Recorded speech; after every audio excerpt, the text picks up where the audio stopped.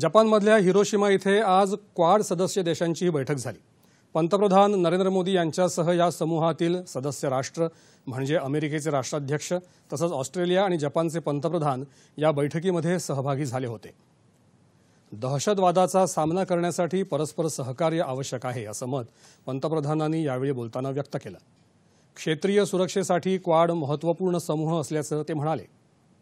Quad अनेक देशांबरोबर सकारात्मक सहयोग वाढवत असून जागतिक हित, मानवजातीचं कल्याण, शांती आणि समृद्धीसाठी निरंतर प्रयत्न करत राहील, असंही ते म्हणाले. क्वाड समूह समावेशक विकासावर भर देत असल्याचंही ते म्हणाले. हमारी बैठक में इस पूरे क्षेत्र के समावेशी और पीपल सेंट्रिक विकास के जुड़े विषयों पर चर्चा करने का अवसर मिलेगा।